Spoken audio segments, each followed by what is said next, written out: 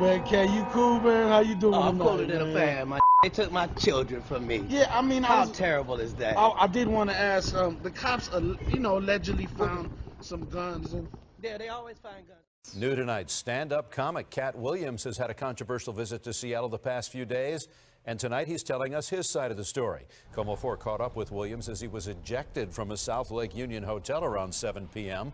On Sunday, Williams was arrested after an altercation at a nearby restaurant. Police say he argued with customers and threatened the manager with a pool cue. Williams is accused of then throwing a lit cigarette into a family's car, which hit a woman in the face, throwing a rock at that car, and struggling with police officers. A group of fans claims Williams assaulted them after his performance.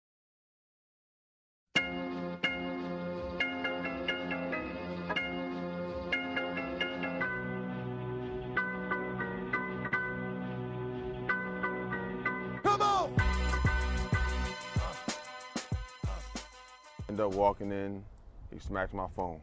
Tyrell Williams is reenacting what he says happened the night Katt Williams punched him I in the face. I bent face. down to pick it up. When I picked it up, he punched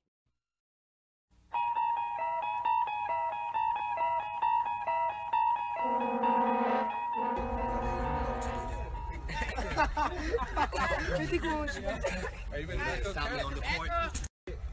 You know what to do then. Stop me on the court. Or oh, you can get. Then you know what to do. Stop me on the court.